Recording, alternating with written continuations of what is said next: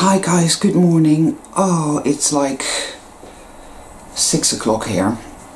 Uh, my last video wasn't, there was something not right with it, so I had to delete it.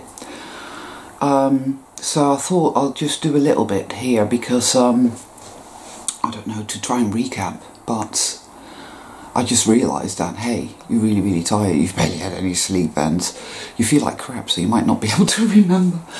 It was basically where, and I don't know if this is happening for anyone else, but I, I reckon it probably is, where our, our bodies are really not functioning right and,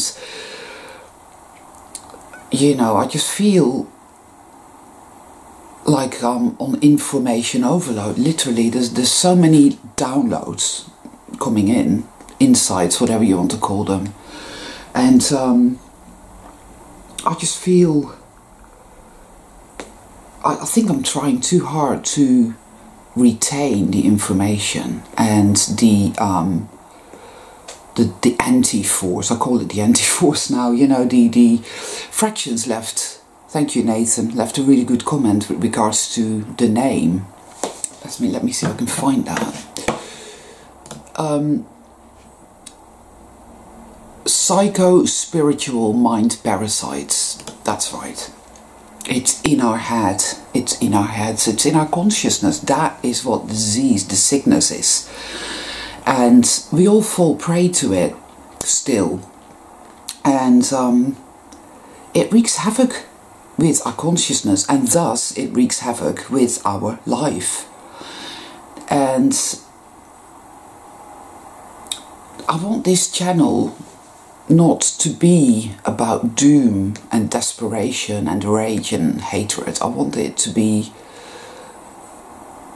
a channel of um, of love, and I don't mean love in the mundane sense. Most people, when you say when you mention the word love, um, they don't understand what it means, and they start to they start to giggle or they start to shuffle about if they actually feel uncomfortable with that word um, because it's it's lost completely lost its meaning in this this world that we live in. People think love is I don't know Kim Kardashian having a good shag with some I don't know, it, it, you know, they, they don't understand what love is. They think love is, oh, I'm in love with this person and we're having great sex, or that's not love.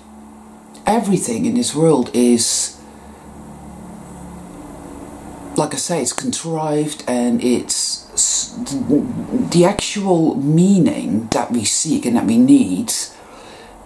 Um, it's like looking for a needle in a million haystacks, you know, because everything is cheap and tried and contrived and mundane and banal. It, it just is. I'm not saying that everything, everything is actually, because that, that is not true. I come across people, I come across beautiful animals in nature, or just a beautiful tree, or a, a, flower, or a really beautiful scent, or some really beautiful music, or some be beautiful art.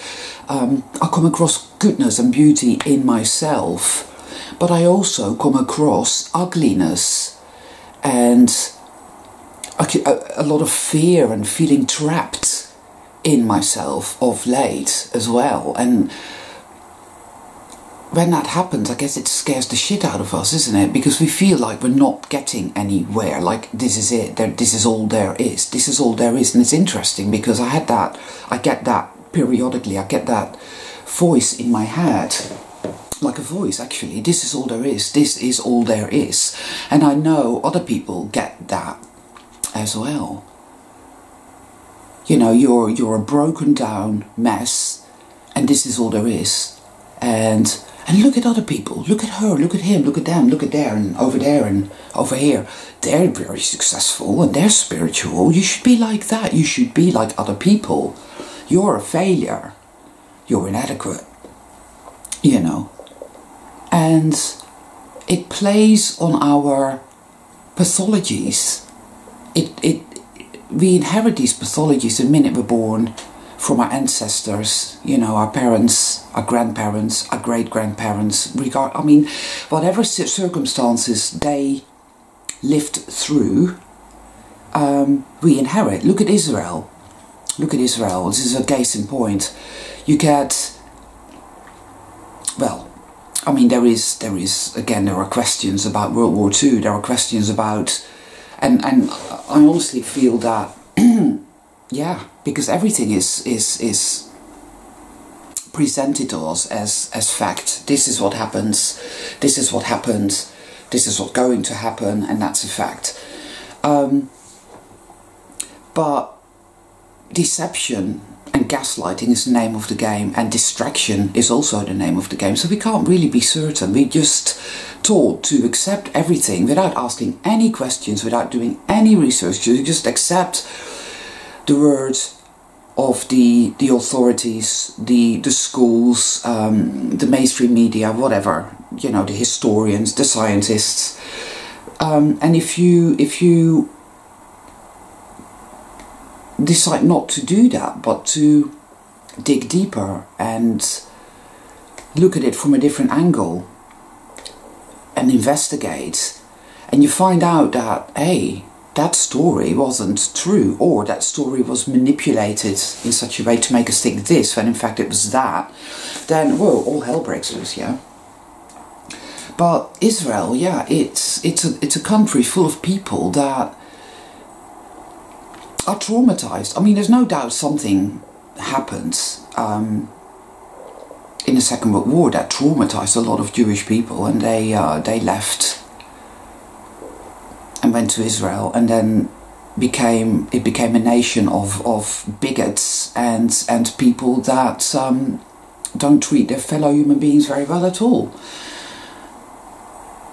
Um, and it's the same happened to Germany actually. You know, in fact, the World War, World War Two, traumatized a hell of a lot of people as well as World War One. But anyway, I di I digress yet again. Um, Oh, it's. Where was I even, man? Everything's gotten very uh, heavy. It's getting, it's getting, it's getting kind of heavy, and um,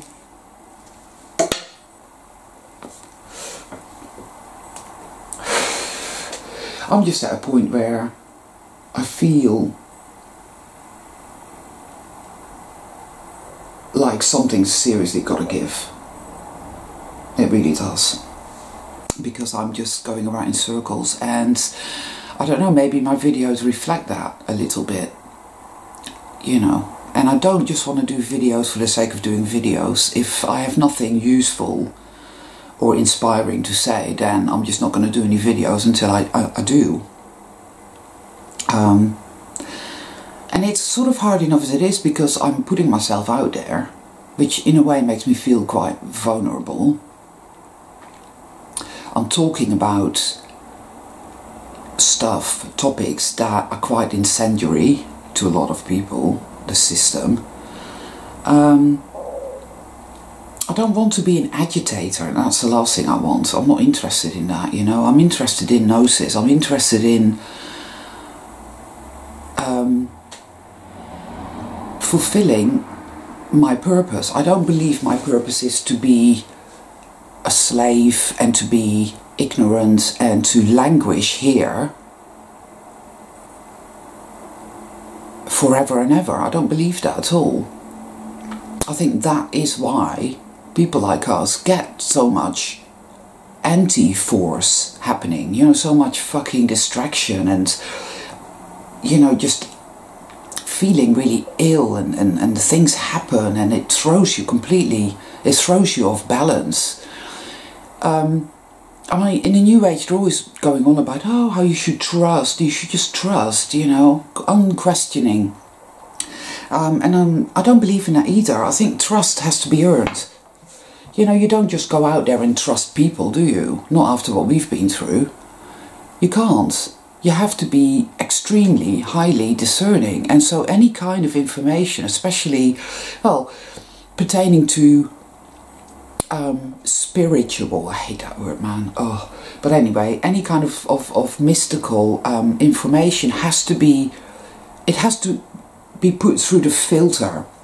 But again, that isn't so simple because we have pathologies running the show. We're so insecure.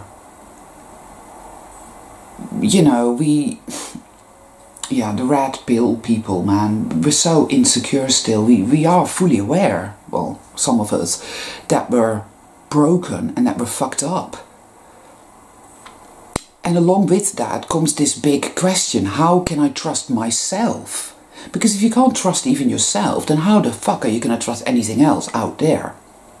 Trust has to start here. So, how do you earn your own trust?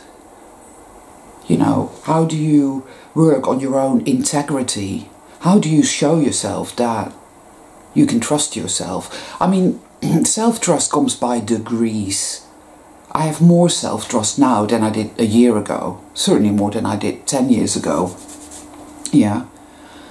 But these last few days I've been feeling so crap. It's physically, you know, and just man, distractions, literally just one thing after another, and it makes me it makes me feel like either we're really getting somewhere, because otherwise the anti-force would not be so overwhelming. Like you know, the voice in your head saying, "This is all there is. This is all there is. Focus on the mundane. Focus on the mundane. You're you're in trouble. You're doomed." It, likes to say that. It likes us to think that we're screwed and that we're finished and that we're doomed, doesn't it? That's an overwhelming sense that you get when you look at the world around you and when you look within yourself and you see that even after years of work on yourself, really going in there, uh, you've still got issues getting in the way.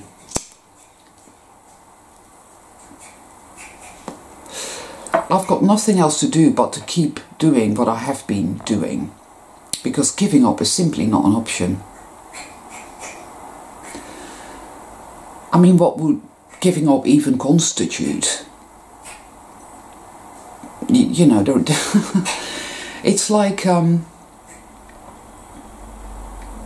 there's just no way to really give up. We, we have to keep digging not necessarily for the truth about what is happening around us with regards to politics or religion or corporations or any of that, because we know that it's all utterly, utterly corrupt and putrid. We know that. I mean, I, I stopped getting into the whole conspiracy theory arena.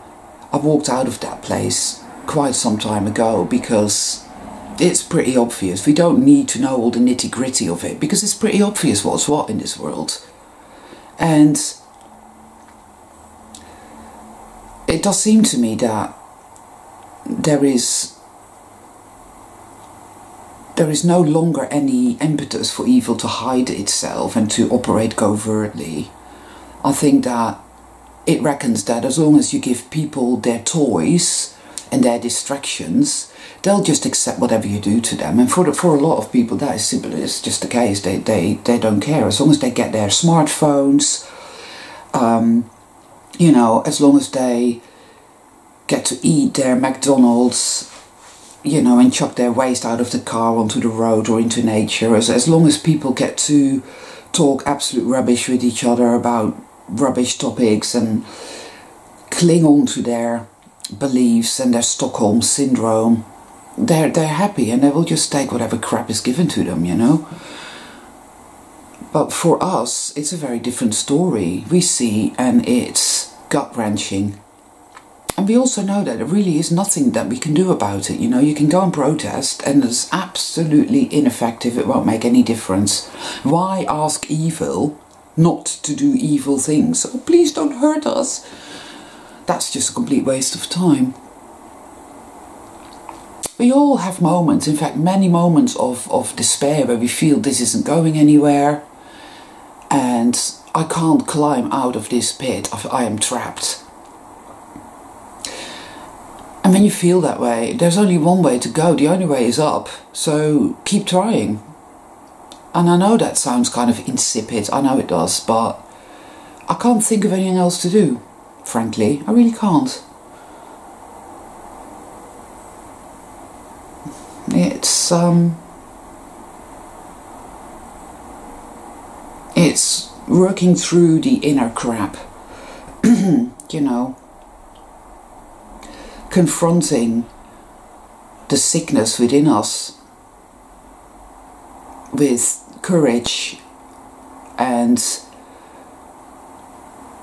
yeah no denial we have to look at it all within us because that which we see outside that we find so overwhelmingly horrendous also lies within us it is a fact when you jump in a fat of vinegar, you're going to be drenched in it. So you need to have a good wash. Probably several because, you know.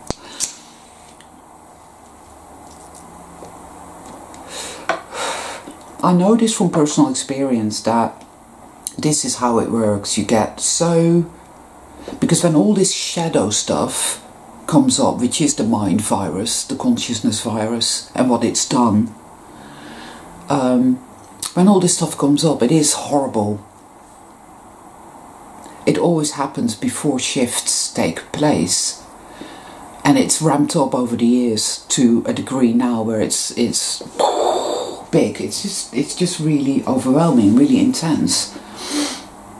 Um, I would expect, I fully would expect that now people would, even myself, run across behavior patterns within themselves and, and whatnot that are not patterns you're, you're going to feel good of uh, about. You know, it's like, oh God, or I'll just go and hide behind the sofa now, you know. Um, and addictions, definitely. I remember the first time I gave up smoking and it was so easy. It really was. This time, no, no. It's because all kinds of stuff is coming up from within me and it's making me feel like I'm not coping very well.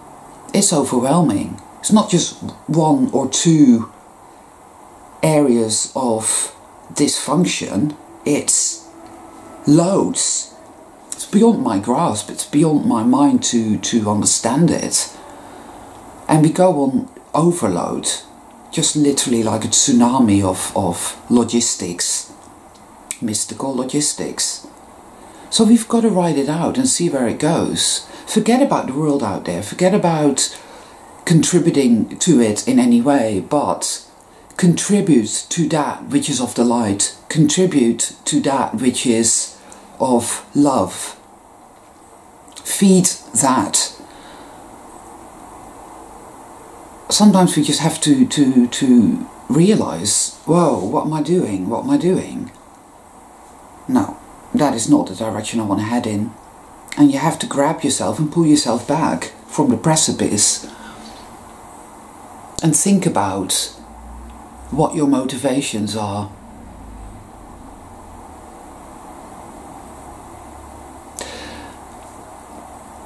Um,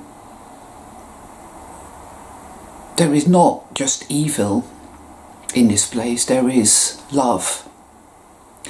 And I think that we've just been so traumatized that perhaps we've lost our faith in the power and the magic of love. It's easily done when we see what's happening and when we confront our own inner demons, you know. It's easy to get lost in it, very easy. I say keep it as simple as possible we need to look after ourselves, we need to look after our physical health, we need to rest, and we need to consciously sit down and think, right, where am I heading? What's happening inside of me? And face those things, you know. Give up smoking, get around to that.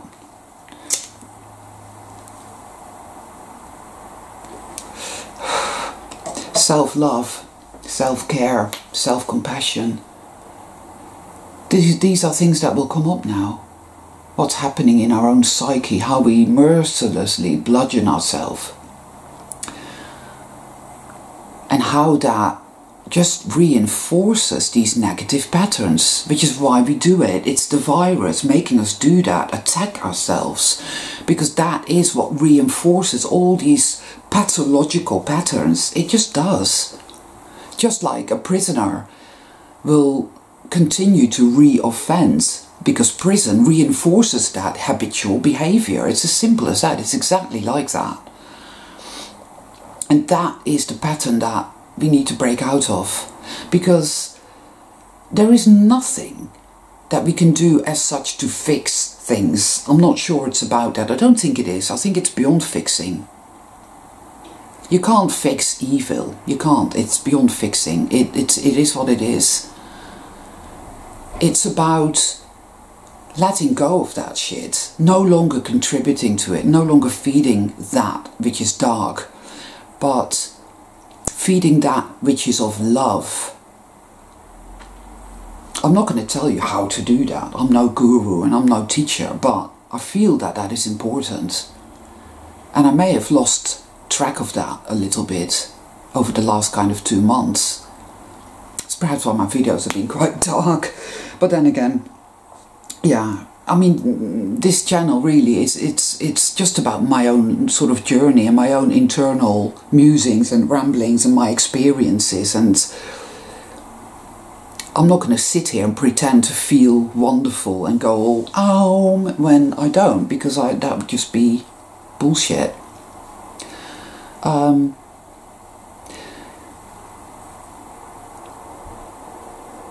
my intuition tells me not to be afraid, well, rather than feel the fear, but don't let it be your master. Feel the despair, but don't let it be your master. Do not take counsel from your fears. Because those, those are the mind parasites. Because if we do that, we'll just stay stuck perpetually in that cycle and nothing good will come of that at all. It, it just won't. So, one way or another, we have to find our center love because love nourishes us and love sets us on the right path it's hard enough being in this world for us but allowing ourselves to be trapped by these patterns of powerlessness fear victimhood hatred rage it's just not gonna help yeah it feels so it's what we're used to doing. And that is what keeps evil here somehow. It keeps us in us. You know, we don't want to do that. We want to clear that out. Oh. So hence the Herxheimer reactions and, and all these these churnings within us and our bodies reacting, our health going to pot. Um, detoxing, and I think that's really very much what's going on at the moment. So I'm just gonna keep doing the best that I can. And I think that's about all that we can do. Um, it's a very difficult path, this. It really is. man, oh man you know, it's very tough. So I think we should all give ourselves a pat on the back for having stayed the course up to this point, because we have. Um, and for having done the best that we can do and for continuing to do the best that we can do. And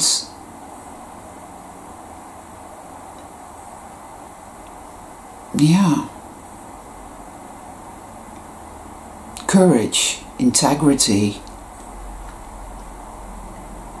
no denial, no denial.